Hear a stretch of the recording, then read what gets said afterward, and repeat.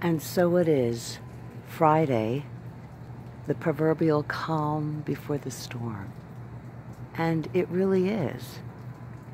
Listen to the sound of serenity, the impending rain, the soundtrack of the sky.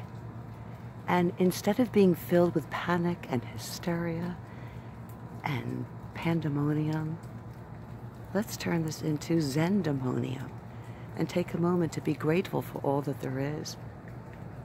Maybe the storm gives us an opportunity to go inward, to be thankful for the force of nature. Its outer fury is just a good release. Think of it as an earthly release. So find serenity and peace. Why instead of calm before the storm, have a calm during the storm? And I'm imbued with such gratitude because look what I got in the mail today. And by that I mean the actual mail. It's something in my mailbox besides a bill or a circular or, or notices for financial planning and cremation, which, which happens a lot here in Florida.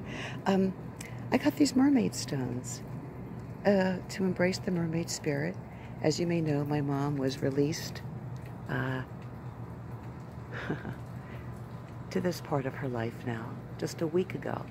And this has given me an opportunity to move the grief, dance away, and be thankful for my circle of friends and the bonds of kinship that keep us all connected. So let's think of it as a hurricane instead of a hurricane.